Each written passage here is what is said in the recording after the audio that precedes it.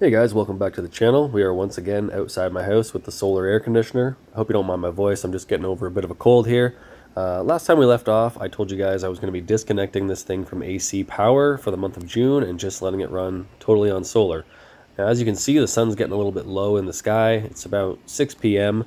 Uh, and the problem I've been running into is I'm actually running out of solar a little bit earlier than I'd like. I'd like to run this thing till about 7, 7.30 p.m. on the hot days. Um, and it's just getting too low on power. It can't really run past 7 p.m. So uh, speaking of solar, the last couple videos I've had a few people complain saying I never show the solar. Um, I do show them in the other videos, but here they are. They're kind of up out of sight. You can't really see them. They're on top of my pergola. So uh, feeds into the unit through this little disconnect box here. This is a breaker I'm not a huge fan of, so if you can recommend something that I could replace this with, please let me know in the comments. This is just a cheap Amazon breaker. It's DC rated, 500 volts, but I don't really trust it.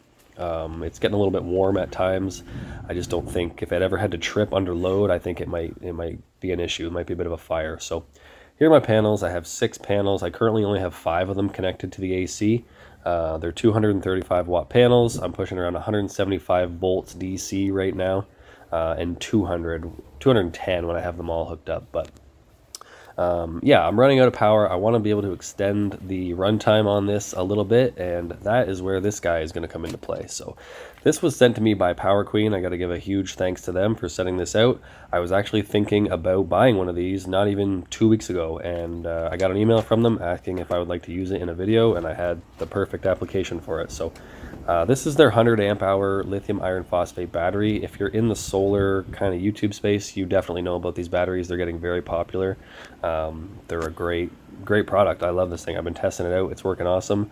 Um, one thing I always recommend if you're buying a battery from Amazon or whatever, so these new companies pop up every day. So before you buy one, just shoot them an email, ask them a few questions about the battery. You'll find with Power Queen, they get back to you right away. Some of these other guys, you'll never hear back from them, and that's the case when you buy the battery from them. If you have an issue, you're never going to hear back. Power Queen gets back to you within 12 to 24 hours. They're very quick. They've got good customer service. Um, so you know if you ever have an issue, you're at least going to be able to get a hold of them, get the warranty going, and uh, yeah, I would always recommend you send that email before you buy the product, just so you know. But this is their 100 amp hour model. It's got a 100 amp BMS, meaning it can discharge at 100 amps DC continuous uh, without you know overheating causing a problem and it'll do that for about an hour that's where it gets the name 100 amp hour so I'm gonna hook this up we're gonna run it on the solar air conditioner after the sun gets a little bit lower here and see see how long we can get out of it um, I'll show you my, my app right now so you can see how much sun I'm actually getting. So I'm getting about 260 watts solar. AC is making up for the rest of that. So once we get a little bit lower, uh, once the sun gets a little lower in the sky, we'll switch this thing over and run it strictly on battery. Um, running around four or 500 watts, this thing should be able to put out about two, a little over two hours of runtime just on this one battery. So that's going to be awesome for the days where the sun goes down and you just need a little bit more life out of this solar AC and you don't want to tie to the grid or you're off grid. So this is going to be a good option and uh, I'll show you how it works. Okay, so it's a little after 7 p.m. and as you can see, we are pretty much out of solar. We're down to 80 watts solar input running mostly on grid. And this is where if you didn't have that grid tie, this thing already would have shut off on low voltage. This is my little portable power station. I built this in another video. I'll link it below if you want to watch it later. But basically it's a computer case. It's got a 1000 watt inverter stuffed in it. It did have a Victron charge controller and it fits a 100 amp hour battery perfectly. So I'm going to load it up. Here we go, all loaded up. I pulled the whip out of the disconnect and put a plug on the end of it. So we are going to be able to plug this right into the power station. Um, I got my Venlabs clamp meter here, so we'll keep an eye on the DC amps, um, the volts, both AC and DC and just see how this thing performs. I'm only going to run it for about an hour. I don't want to run it too low because this AC is obviously pretty sensitive equipment. Um, as you can see, we've got a fully charged lithium battery. So uh, yeah, like I said, I don't want to run the voltage too low and, and risk a low voltage situation for the inverter board on the on the AC. So here we go. Solar input has been shut off. Uh, we're going to fire this up. Keep an eye on everything. I think it's going to do good, but uh, we'll get started and see how it goes. Okay, let's fire it up. I'm going to turn it down to 72. Um, the room is already about 72, so it doesn't have to work too hard. It's kind of just going to be maintaining. Should be running right around 4 or 500 watts. And here we go. The uh, compressor is starting up. We can see the amps climbing. So far, so good.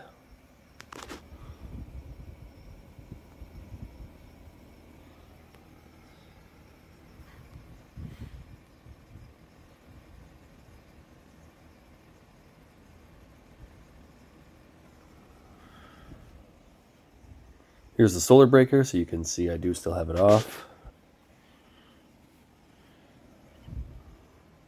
So we're holding right around 39 amps. That is about 500 watts. I'll screen record here so you can see. Uh, yeah, just short of 500 watts. We're running at about 480. Um, I'll open the power consumption for the day so I can show you how much AC input we're going to use. Uh, this will record how many kilowatts between 7 and 8 p.m., so we'll check back in with that. As you can see, we've used 0.09, uh, sorry, 0.069 kilowatt hours, which is about 69 watt hours, and we'll check back in with that after. So it's been 30 minutes. We are now down to 31.9 amps DC. So the AC is leveled out a bit. It's only pulling about 400 watts um, and it's working good. I'm going to check the voltage here and I'll show you what that's at.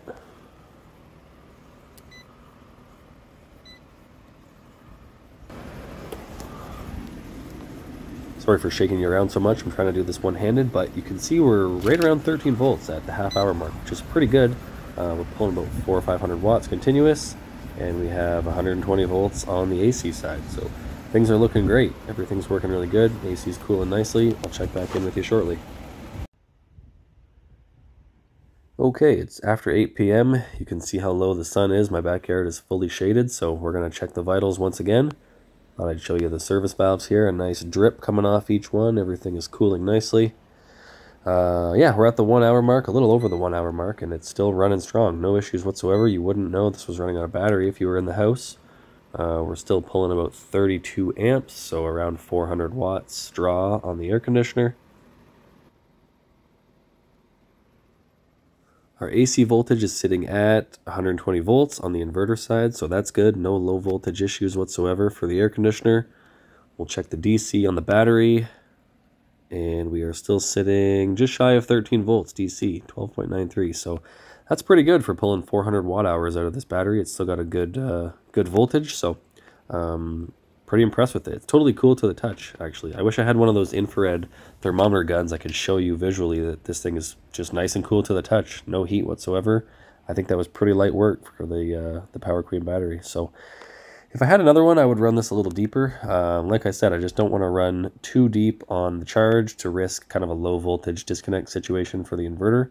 Um, I'll show you the usage here between 7 and 8 p.m. So we are going to be the bright orange bar right there. So looks like between 7 and 8 p.m. we use just shy of 400 watt hours, 391 watt hours. And then after 8 p.m. we ran about 10 more minutes and we use 41 watt hours. So a little over 400 watt hours total. This battery is rated for 1250 watt hours. So with that math, we should be able to run this in theory for about three hours. Um, like I said, I don't want to risk running it too deep on the air conditioner and uh, having a low voltage situation. So here's the battery. I pulled it out of the computer case. Like I said, totally cool to the touch. Um, worked great. It's sitting at 13.38 volts, which is really good for pulling that much power out of it. We probably pulled about 33% out of the battery. So uh, judging by this little chart here, we should be sitting closer uh, closer to the 70%, 13.2 volts, but it's reading 13.3. So overall, very impressed with the battery. Um, if you want to see any more tests with this battery in the kind of HVAC uh, world, let me know any ideas you have. I do have another idea for, for this, but I think I would need a second battery. So stay tuned. Hopefully I can get my hands on one. Um, as always, thanks for watching. Uh, if you'd hit that subscribe button, I'm getting so close to a thousand subscribers. That would be a great help. So once again, thank you for watching. I'll see you in the next video.